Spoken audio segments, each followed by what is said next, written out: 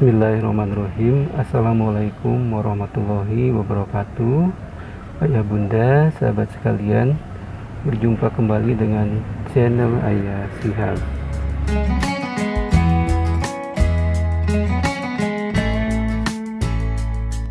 Di video kali ini kembali Ayah Sihab ya akan menyampaikan sebuah informasi yang mudah-mudahan bisa bermanfaat untuk ayah bunda sahabat sekalian.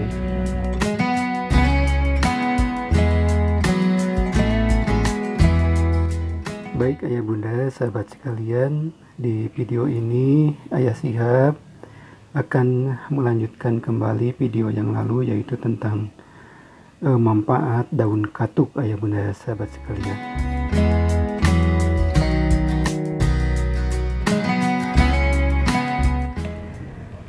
pada video yang lalu pernah Ayah Siap juga bahas ya tentang tumbuhan katuk dan manfaatnya. Ini hanya melipes saja ya bunda sahabat sekalian supaya eh, lebih memahami dan lebih tahu tentang manfaat pohon yang satu ini ya bunda sahabat sekalian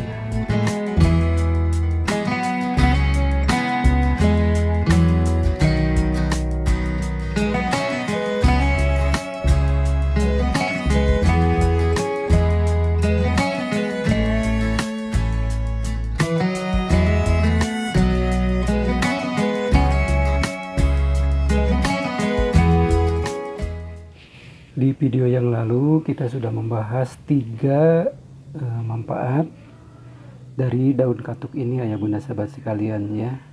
Yang pertama adalah daun katuk bisa menurunkan kadar gula darah ya. Kemudian daun katuk juga bisa mencegah obesitas dan yang ketiga adalah daun katuk ini bisa menyembuhkan menyembuhkan luka ya bunda sahabat sekalian.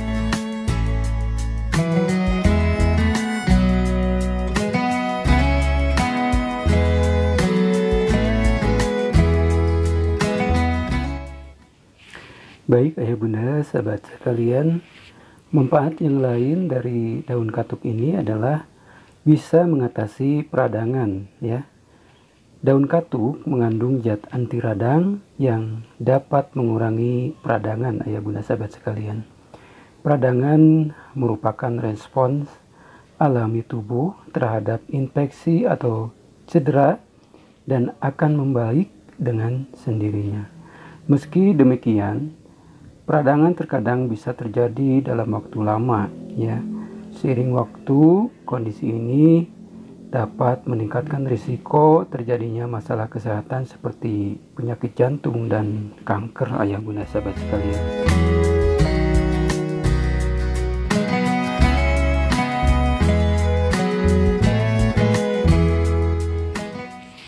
Manfaat yang lainnya adalah Daun katuk bisa meningkatkan daya tahan tubuh ayah bunda sahabat sekalian.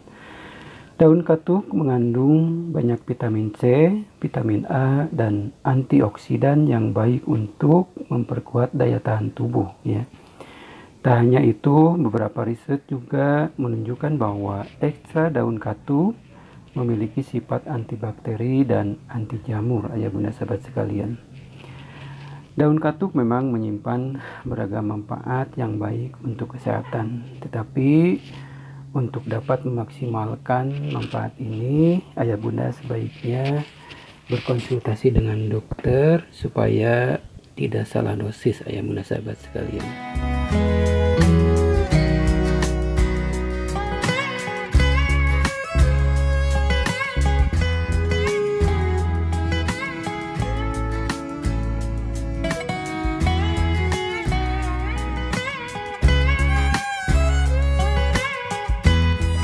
Ayah bunda sahabat sekalian supaya eh, daun katuk menarik untuk dikonsumsi ya. Di video yang lalu kita sudah membahas bahwa daun katuk bisa dibuat eh, sayur katuk ya. Dan eh, selain dibikin sayur daun katuk juga ternyata bisa dibikin olahan yang lain. Di antaranya adalah dibuat bakwan katuk ayah bunda sahabat sekalian kemudian uh, selain bakwan katuk juga uh, katuk juga bisa dibikin uh, risoles ayah bunda sahabat sekalian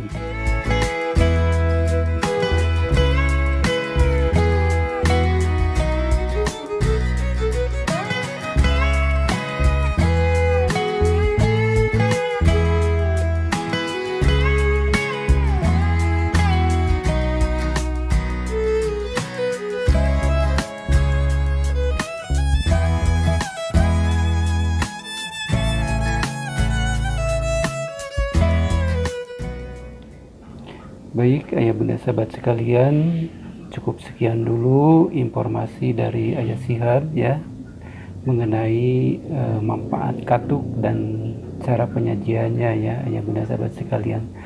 Mudah-mudahan bermanfaat dan benar-benar e, ayah bunda sahabat sekalian bisa memanfaatkan tanaman yang satu ini ya.